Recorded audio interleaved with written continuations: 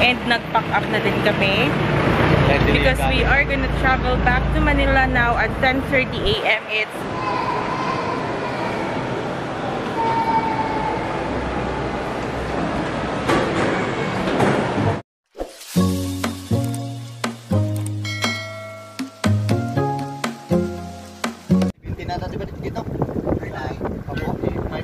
per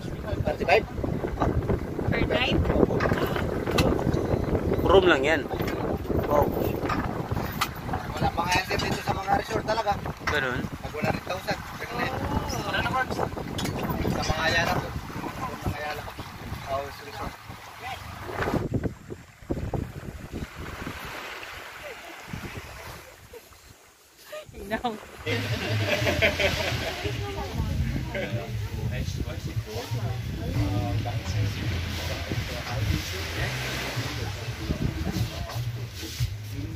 Wow.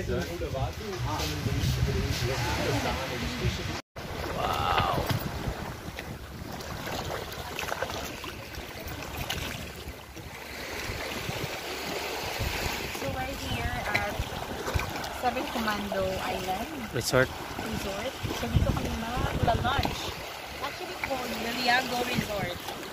Island. Oh, So sabi nila dito, 35,000 per night. Above plus. And so, fun. Then nakaka-wonder kasi maganda naman talaga yung facade and yung amenities. White sand. So magla-lunch lang tayo. Ah, so hungry. Oo. Ako may kanin po kayo.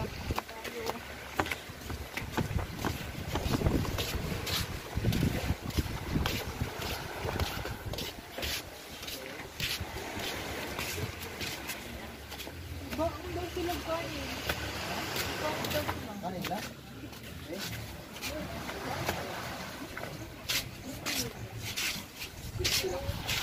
Pwede kaya mag-tip na lang tayo sa kanila. Overnight. Shucks. Thank you, ma'am.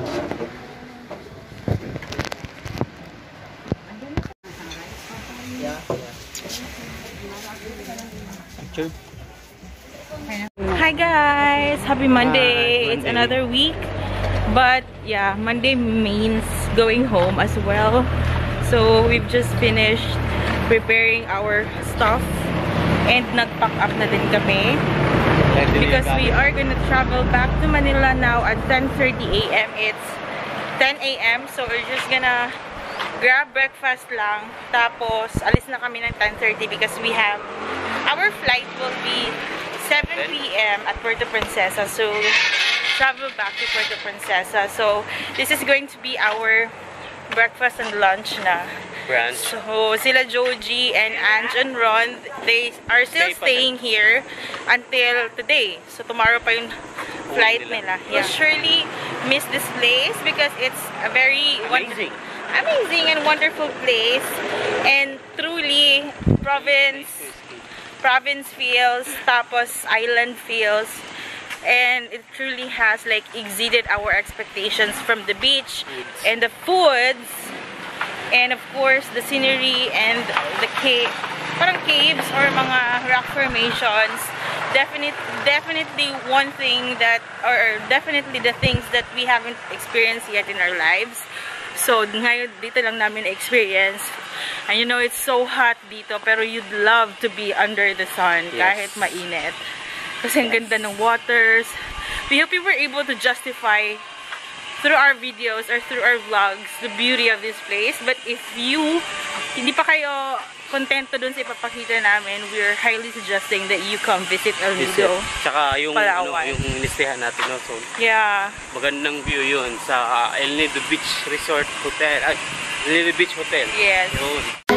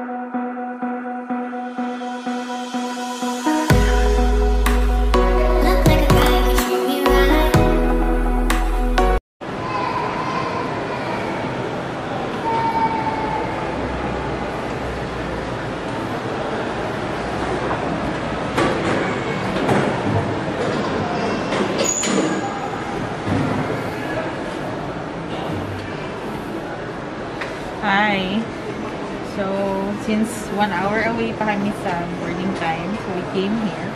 Bakit ako? I'd like to buy this one. This is 40 pesos.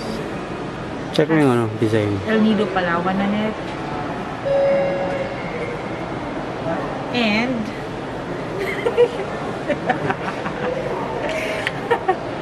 souvenir dahil honeymoon, ganon.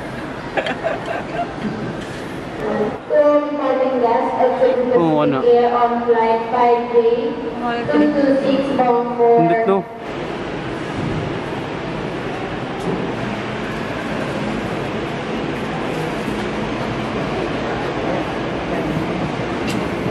Designer bag.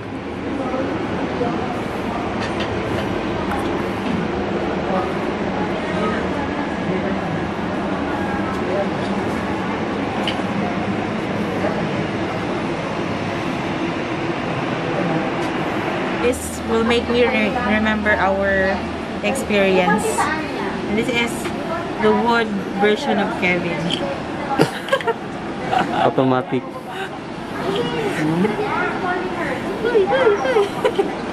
Tara, bayad na tayo. Oh, good na. We are here at Palawan. Puerto Princesa Airport and Yeah. waiting for our boarding time. And just to make it like, ano, explain, nagtanong kasi ako dun sa binili kong souvenir. So, ang, ang tawag daw doon is barrel man. Barrel man. Pero hubad siya na naman sa loob ng barrel. So, yun lang. FYI lang naman. So, basically, this wraps up our vacation. Yeah. Sana mga, ang saya ng mga nakasama namin na tao. experience was like so worth it because much Yeah. more than the experience than the people that we've been with.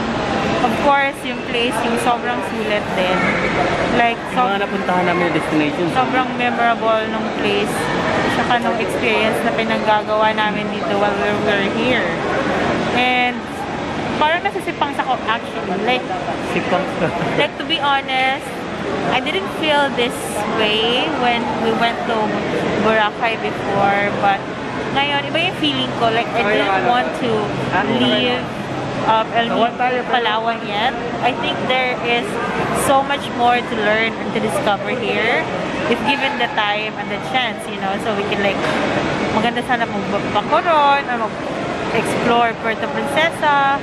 But yeah, parang hanggang dito lang din naman kasi yung ano namin, yung um, vacation time namin and we have to go back because we need to face our responsibilities, you know, like the work, Back to basic. Yeah, work and our other to-dos.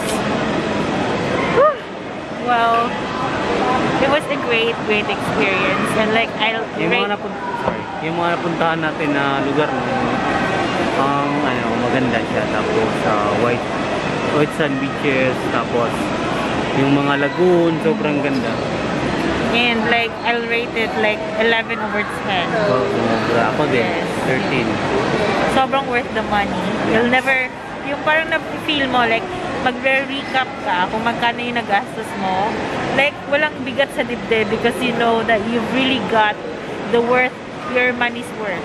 Much, much more than it. Like, di ba, parang, ito lang yung expect mo, but yung nakuha mo na experience, yung relaxation, sobrang sobra. Like, this is also the first first consecutive, uh, two consecutive days that I have slept for 8 hours straight. Siguro may effect yung sea breeze or like being in the seaside. Pero, sarap lang matulog. Ganon.